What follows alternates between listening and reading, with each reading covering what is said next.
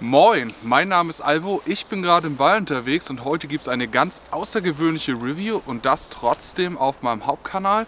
Wenn dich das kleine Mysterium interessiert, dann bleib da einfach dran.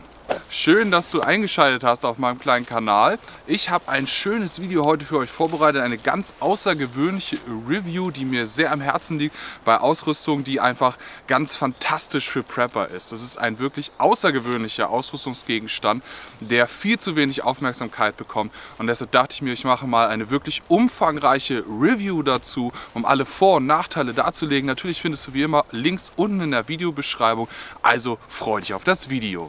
Worum wird es heute gehen? Es geht um das Gold des Badezimmers. Es geht um die wichtigste Rolle in all unserem Leben. Um das Klopapier.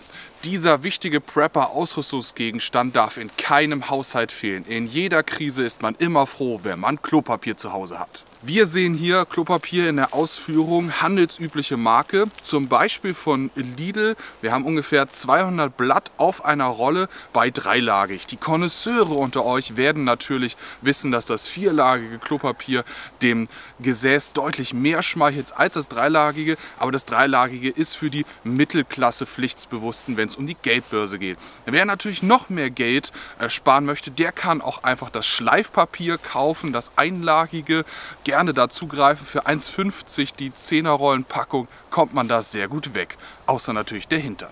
Klopapier als Ressource wird hauptsächlich in Deutschland selbst hergestellt. Das heißt, es ist ein geschlossener Recycling-Kreislauf, genauso wie natürlich das Wasser, was wir verwenden. Der interessierte und pflichtbewusste Prepper weiß natürlich, wann er sich davon Vorräte anschaffen muss. Deshalb habe ich natürlich die intelligentesten unserer Spezies schon gesehen in frühen Zeiten der Krise, die wir gerade haben, um das Zeug kiloweise aus den Supermärkten zu schaffen. Folgerichtig gibt es jetzt natürlich Engpässe. Das heißt, die Regale sind leer, ebenso wie Mehl, das zweitwichtigste im Haushalt. Denn wer braucht schon nicht 30 Kilo Mehl zu Hause und 50.000 Rollen Toilettenpapier auf jede Krise vorbereitet? Alles in allem muss ich sagen, dass das ein wirklich außergewöhnlicher Ausrüstungsgegenstand ist, dem man gar nicht genug Interesse beimessen kann. Das heißt, ich würde euch empfehlen, möglichst viel davon zu kaufen. Wie gesagt, unten findet ihr natürlich einen Link in der Videobeschreibung. Gerne dort mal reinklicken. Und jetzt natürlich Spaß beiseite. Ich hoffe, die kleine Review, das kleine Video zum 1. April hat euch Spaß gemacht. Ihr fühltet euch ein bisschen unterhalten, um natürlich durch diese kleine C-Krise, die wir hier auf dem Kanal nicht weiter nennen wollen, durchzukommen. Ich hoffe, ihr kommt selber sehr gut durch die Krise.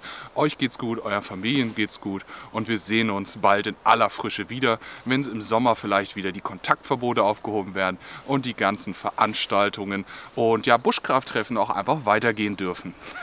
vielleicht sehen wir uns da mit einer Rolle Klopapier. Bis dahin, tschüss, tschüss.